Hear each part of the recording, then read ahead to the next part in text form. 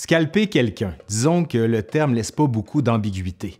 Comme le disait d'ailleurs notre cher monsieur Bernet dans une autre vidéo. On peut d'ailleurs en observer quelques spécimens assis, pour ainsi dire en indien, à l'affût d'un scalp européen à décaloter. Pour ceux qui n'avaient pas compris, tout ceci n'était qu'une parodie, assaisonnée d'une joyeuse dose d'ironie. Mais revenons au scalp. On évoque souvent le scalp pour parler de la sauvagerie des sauvages, comme on dit à l'époque. On présente les Premières Nations de l'époque comme violentes et inhumaines, et on se sert du scalp pour prouver la chose. Je vous ai souvent habitué à tordre le cou à certaines idées reçues, et disons que cette capsule n'entend pas faire exception, et quelque chose me dit que les Européens ont eu un rôle assez important à jouer dans toute cette histoire-là, et pas nécessairement le bon rôle. Allez, aujourd'hui à l'Histoire nous le dira, le scalp en Nouvelle-France.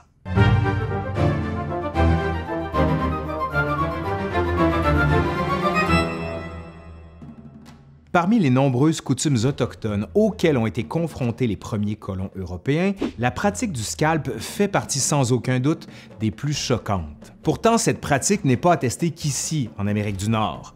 Hérodote, donc sous l'Antiquité au 5e siècle avant notre ère, signale l'existence de cette pratique chez les Scythes habitant au nord de la mer Noire et semble apparaître dans les mêmes années en Amérique du Nord. Le scalp est une pratique marquante de la spiritualité et des mœurs guerrières autochtones. Mais ce fameux scalp va prendre aussi une dimension à la fois étonnante pour les colons européens qui découvrent pour la plupart la pratique au contact avec les Premières Nations d'Amérique du Nord. Rapidement, les premiers colons européens vont être terrorisés par la pratique. Cartier et Champlain mentionnent les scalps sans trop s'énerver. Ce qui choque les premiers colons, ce ne sera pas tant la scalpation en soi, mais l'idée que les civils puissent en être victimes. Ce n'est que par la à mesure que les notions européennes de la guerre se raffinent et qu'émerge le droit de la guerre que l'on apprendra à se choquer devant la scalpation. Jacques Cartier en 1535 est le premier Européen à voir des scalps et les décrit comme les peaux de cinq têtes d'hommes étendues sur des bois, comme des peaux de parchemin. Rapidement, on en aperçoit des semblables un peu partout en Amérique du Nord chez différentes nations. Mais qu'est-ce que c'est qu'un scalp exactement? Bonnefond, dans ses écrits compilés dans l'ouvrage Voyage au Canada dans le nord de l'Amérique septentrionale, donne une description assez précise de l'acte. Le sauvage qui en a porté deux ou trois coups de casse-tête prend aussitôt son couteau dont il fait une incision autour des cheveux, depuis le front du haut jusqu'à la marque du cou, mettant ensuite un pied sur l'épaule de la victime dont il est tourné le ventre contre terre. Il lui tire à deux mains la chevelure de derrière en avant. Cette opération, qui est très prompte, n'est pas plutôt achevée que le sauvage l'attache à sa ceinture et continue sa route. Après avoir promptement levé la chevelure, il fait le cri de mort et se sauve à toutes jambes. Une fois ce rituel terminé, le guerrier attache son trophée à une perche et l'emporte dans sa communauté. Juste avant de rejoindre les siens, le guerrier entonne des cris de mort pour avertir ses convives de sa victoire. Les premiers colons français n'échappent pas à cette coutume. Les premiers scalpés sont trois hommes aux abords de Ville-Marie par des Iroquois en 1643. On rapporte d'ailleurs plusieurs cas de survivants. Rappelons cependant que la scalpation se pratique a priori sur des morts, n'étant pas conçue comme un coup de grâce. Si certaines victimes survivent, c'était par erreur. En 1644, par exemple, on va retrouver un colon encore vivant auquel on avait prélevé la chevelure. Au début, les colons français vont utiliser les termes tête, peau de tête, peau écorchée, courroyée, perruque ou bien peau couverte de ses cheveux et moustaches. Vers la fin du 17e siècle, les expressions lever, enlever, arracher ou faire une chevelure seront utilisées pour décrire la pratique. Le terme scalp, emprunté à l'anglais, fera son apparition pour la première fois en 1769, soit après la période de la Nouvelle-France. Cette coutume prend une place importante dans les différentes cultures autochtones. Le prélèvement de chevelure chez les Premières Nations s'inscrit dans un contexte plus large, celui de la guerre. Parce que la vie et la mort sont liées dans la spiritualité autochtone, la valeur guerrière du combattant l'accompagne dans l'au-delà et le valorise aux yeux de sa communauté. La guerre fait partie de la culture autochtone et implique toute la communauté du village. Femmes et enfants prennent part aux cérémonies d'avant-guerre. Ils prennent part aux décisions sur le sort des prisonniers et bien souvent prennent part aussi aux cérémonies de torture. Ainsi, puisque les conflits ne visent pas à contrôler un territoire ou des ressources, les combats se transforment bien souvent en expéditions ou en parties de guerre. L'un des objectifs principaux durant ces raids est de faire des prisonniers. Le scalp et la prise de prisonniers sont le symbole du succès d'une offensive. Mais les prisonniers sont certainement ceux qui ont la plus grande valeur, puisqu'ils vont servir à remplacer des membres perdus ou bien ils vont être sacrifiés lors de cérémonies une fois qu'on va être retourné au village. Le scalp n'est pas seulement une preuve du succès de l'offensive, il a également une dimension spirituelle. En prenant possession du scalp, le guerrier s'approprie le corps et l'esprit de son opposant. La prise de chevelure est aussi une action prédominante lors des cérémonies de supplice. Tout dépendant de la nation, le scalp est saisi au début, pendant ou à la fin des cérémonies accompagnant la torture du prisonnier. La chevelure chez les nations autochtones prend une place très importante. Elle différencie les hommes des femmes. La coupe et la longueur des cheveux peuvent avoir des fonctions spirituelles ou guerrières. Elle prend aussi une dimension importante lors des cérémonies mortuaires où le mort reçoit un traitement spécial et les veuves sont coiffées aussi pour l'occasion. Le scalp jouera un rôle important dans les relations entre colons européens et les Premières Nations. Et certaines nations sont en guerre l'une contre l'autre. Pour ne prendre qu'un exemple, les cinq nations iroquoises, durement frappées par les épidémies, vont intensifier leur guerre contre les voisins en suivant la logique traditionnelle. Ils font la guerre pour faire des captifs afin de les adopter. En complément, ils tuent, cannibalisent et scalpent afin de se remonter le moral collectif. Par exemple, un grand conflit s'installe entre deux ennemis, soit l'Alliance iroquoise des Cinq Nations et les Hurons qui se battent entre autres pour le lucratif commerce des fourrures les Iroquois commercent avec les colonies anglaises, tandis que les Hurons vont commercer avec les Français. D'ailleurs, les nations iroquoises vont souvent être en guerre avec les colonies françaises, et ce, malgré les tentatives de paix. Les autorités françaises décideront donc de suivre l'exemple pris par d'autres colonies et chercheront à motiver leurs alliés autochtones à s'engager plus activement dans les conflits à travers une politique, vous me voyez venir, de paiement des primes pour les actions guerrières.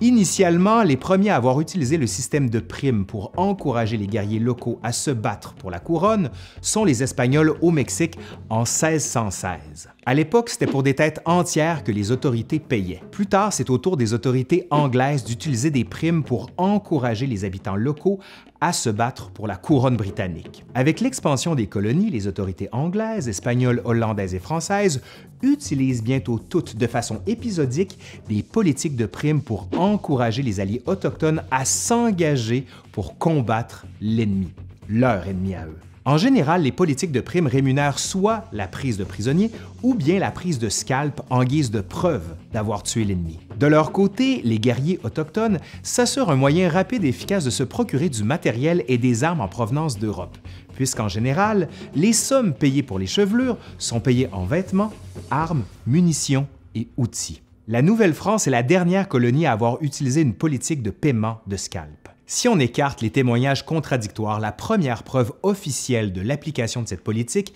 est durant la guerre de la Ligue d'Augsbourg et durant la reprise du conflit franco-iroquois, dans une lettre datée du 21 septembre 1692 laquelle l'intendant Champigny informe le ministre que lui et Frontenac ont convenu dernièrement de payer une somme annuelle de 20 écus blancs, 66 livres, pour chaque prisonnier ennemi qui leur sera ramené, et de 10 écus, 33 livres, pour chaque prisonnière ou pour chaque chevelure ennemie, ce qui avait résulté, et je cite, en une augmentation des dépenses fort considérable les primes vont prendre fin avec la signature du traité d'Utrecht en 1713, mais n'empêcheront pas les alliés de la colonie de rapporter des chevelures de leur guerre. Plusieurs Canadiens de l'époque vont encourager les autorités à continuer de payer les scalps ramenés par les nations autochtones afin de les encourager à se battre. Les primes reprennent de plus belle lors de la guerre de succession d'Autriche et pour les premières années de la guerre de Sept Ans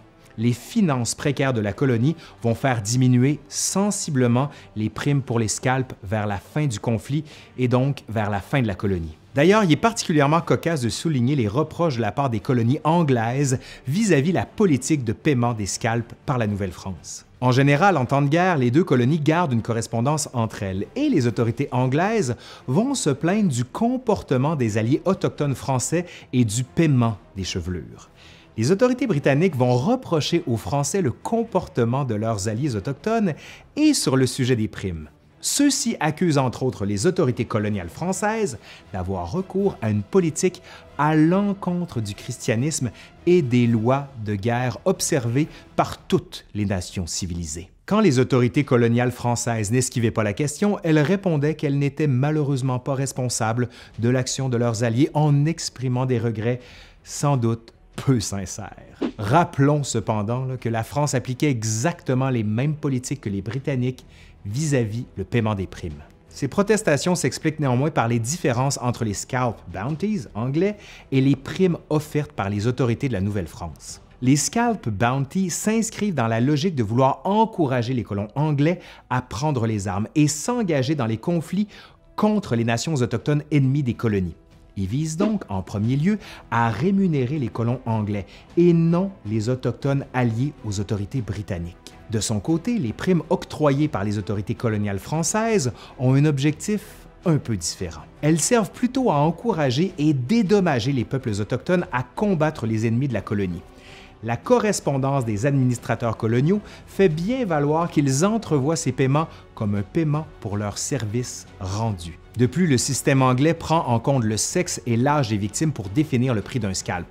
Un scalp de guerrier valant plus cher que celui d'un enfant ou d'une femme. Tout individu était scalpable, mais les indices quant à la valeur qui pouvait être attachée au scalp d'hommes, de femmes et d'enfants ne suggèrent pas que les uns aient été des prises plus estimées que les autres. Pour les cheveux courts, ils étaient certainement plus difficiles à arracher, faute de poigne. Thomas Hanbury affirme dans son récit de voyage des années 1770 que lorsque les cheveux étaient trop courts, les guerriers se penchaient et se servaient de leurs dents pour enlever la chevelure. Pour les couleurs de cheveux, difficile de savoir si le blond était préféré au noir ou au brun. Il existe peu de documents sur le sujet.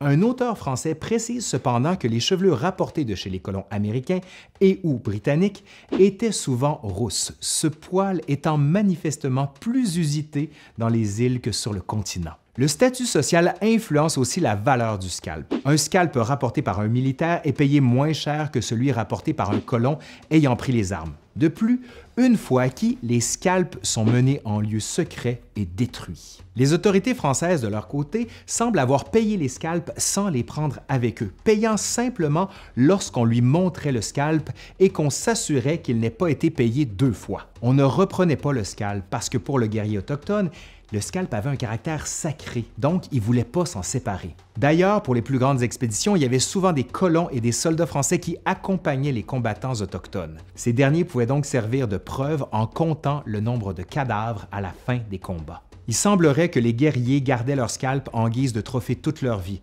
et bien souvent, on les enterrait avec. Cependant, le scalp peut aussi être remis à un proche, une famille en deuil ou bien simplement comme un bien très précieux. On en disposait de manière bien différente d'une culture à l'autre.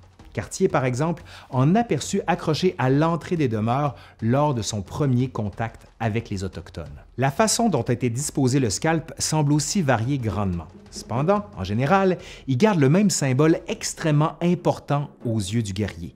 S'il est donné en guise de cadeau, celui-ci doit être considéré comme un objet précieux qui ne doit pas être détruit. De plus, lors des plus grosses expéditions composées de beaucoup de Français et de guerriers autochtones, il arrivait qu'on ne paie pas pour des scalps sous prétexte qu'il était impossible de savoir qui l'avait tué. On a même remarqué ce qu'on pourrait appeler des tentatives de fraude, notamment on a rapporté des scalps de nations alliées ou même des scalps d'animaux. Ben oui. Le plus célèbre exemple provient des textes de Bougainville, qui rapportent que lors d'une partie de guerre, les Autochtones menés par le sieur Marin avaient rapporté 32 chevelures, alors qu'on savait très bien qu'il y avait seulement 11 tués et 4 blessés chez les Britanniques. La prise de contrôle de la Nouvelle-France par les Britanniques ne va pas mettre fin aux politiques de rémunération des scalps en Amérique du Nord. Dans les colonies britanniques, les scalp bounties vont continuer d'être déclarés au fur et à mesure que des conflits éclatent avec des nations ennemies de la colonie. Ils continueront d'être promulgués dans les États américains jusqu'aux années 1870 dans l'espoir de se débarrasser des premiers occupants américains. À la fin de la conquête militaire de l'Ouest, la tradition du scalp finira par s'éteindre avec des cas sporadiques et exceptionnels dans les années 1930 par des Apaches refoulés dans le Sonora mexicain. Allez, c'est fini pour aujourd'hui. J'espère que ça vous a plu. Si c'est ben, le cas, dites-le moi. C'est important. OK? Allez, bye.